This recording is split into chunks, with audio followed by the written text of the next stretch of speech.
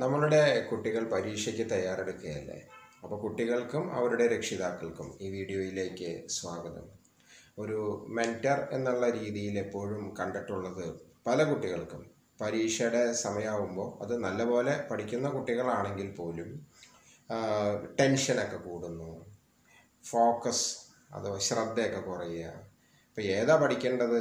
ഏതാ പിന്നീടത്തേക്ക് വെക്കേണ്ടത്? ആകെ കൺഫ്യൂഷനാണ് അപ്പോൾ ഇതുമായി ബന്ധപ്പെട്ടിട്ട് ഒരു ചെറിയൊരു എക്സാമ്പിൾ പറയാം. പെട്ടെന്ന് മനസ്സിലാക്കാൻ വേണ്ടിയിട്ടാണ്. നമ്മൾ ഡ്രൈവിംഗ് ടെസ്റ്റൊക്കെ പാസ്സായി ലൈസൻസ് ഒക്കെ എടുത്ത് കാറും കൊണ്ട് ഒരു നല്ല തിരക്കുള്ളൊരു ജംഗ്ഷനിൽ ഒന്ന് പോയി നോക്കുക. അവിടെ ആ ഇത്രയധികം വണ്ടികൾ കാണുമ്പോൾ തന്നെ നമുക്ക് ടെൻഷനാവും രണ്ടാമത്തെ കാര്യം പുറകെ നിന്ന് ഹോണടിയൊക്കെ വരുമ്പോൾ വണ്ടി മിക്കവാറും ഓഫാവും ആക്സിലേറ്റർ ഏതാ ബ്രേക്ക് ഏതാ ക്ലച്ച് ഏതാന്ന് തന്നെ നമുക്കൊരു പിടിയുണ്ടാവില്ല അപ്പോൾ അതിന്റെ കാരണം ടെൻഷൻ എന്ന് നമ്മൾ പലപ്പോഴും പറയുമെങ്കിലും ടെൻഷനൊന്നും അല്ല അത്. ആ ഡ്രൈവിങ്ങിന്റെ ഒരു രീതി അല്ലെങ്കിൽ ആ പ്രോസസ്സ് അങ്ങനെയല്ലല്ലോ നമ്മൾ ആ ജംഗ്ഷനിൽ അല്ലെങ്കിൽ ആ ടൗണിൽ തിരക്കില്ലാത്തൊരു സമയത്ത് പോയി അവിടെ യൂ ടേണോ റിവേഴ്സോ ഒക്കെ എടുത്തൊന്ന് ഒന്ന് പ്രാക്ടീസ് ചെയ്യുക. വേണമെങ്കിൽ നല്ല എക്സ്പേർട്ട് ആയിട്ടുള്ള ഒരാളെ അടുത്തിരുത്തി. അങ്ങനെയൊക്കെയല്ലേ നമ്മൾ ചെയ്യുക. സെയിം ഡിറ്റോ നമ്മൾ എത്ര ക്ലാസ്സിൽ ശ്രദ്ധിച്ചാലും.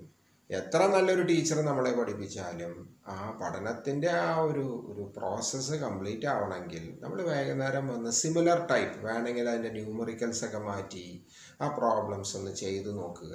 അപ്പോൾ നമ്മൾ അതൊന്ന് റീഇൻഫോഴ്സ് ചെയ്യുമ്പോൾ എന്താ പറ്റുക? നമ്മുടെ മെമ്മറി പവറും നമ്മുടെ കോൺസെൻട്രേഷനും ഫോക്കസൊക്കെ താനേ വർദ്ധിക്കും.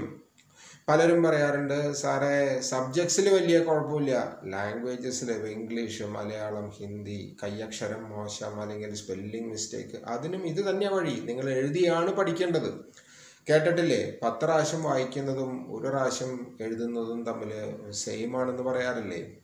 ഈ ഒരു രീതി ഒന്ന് ശ്രമിച്ച് നോക്കുക. വേണമെങ്കിൽ എല്ലാ വീക്കെൻഡിലും ഒരു ചെറിയൊരു റിവിഷൻ നമുക്ക് വേണമെങ്കിൽ തന്നെ ഒരു മൂന്ന് നാല് ക്വസ്റ്റ്യൻസ് ഒക്കെ ഇട്ടിട്ട് തന്നെ ഒന്ന് എഴുതാൻ പറ്റുമോ തന്നെ ചെയ്യാൻ പറ്റുന്നുണ്ടോ എന്ന് നോക്കുക. മാത്സിലെ പ്രോബ്ലം ആണെങ്കിലും അത് ഹിന്ദി ആണെങ്കിലും മലയാളം ആണെങ്കിലും ഇംഗ്ലീഷ് ആണെങ്കിലും.